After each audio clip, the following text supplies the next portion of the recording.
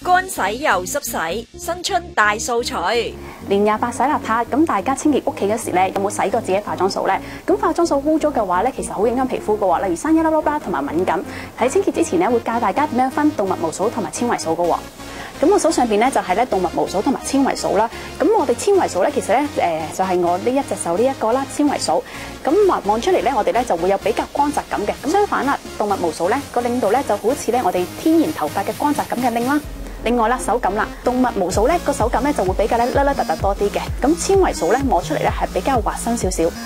掃咧我哋都有分濕洗同乾洗嘅喎。乾洗嘅話咧，如果譬如你平時化妝好急，突然間支掃污糟嘅話咧，我哋咧可以有啲乾洗掃啦。首先咧，我哋咧可以冚咗喺個紙巾上邊先，噴完之後咧，咁我哋咧有污漬嘅掃啦，輕輕抹過。咁乾洗嘅好處咧係咧，你即洗咧熄之後咧就即刻會乾噶啦。咁抹完之後咧，咁我哋咧就可以攞乾淨嗰邊啦，再掃多次。咁掃多幾下之後咧，個支掃咧就好乾淨噶啦。如果係放一啲千年嘅污漬嘅話咧，我建議咧可以攞少少嘅清潔液嘅份量啦，喺個手心上邊，支掃咧攞少少水，直接咧將啲清潔液咧擺喺支掃上邊，然後捽勻佢。捽勻咗之後咧，我哋咧輕輕咧將啲污漬推開，咁所有嘅誒污糟嘅顏色咧就全部走晒出嚟噶啦。捽完之後咧，我哋就可以過清水。之後咧，我哋咧就可以印乾水啦，輕輕壓乾。乾咗之後咧，我哋咧就可以擺平。咁大約一日到啦，咁就會乾噶啦啲掃。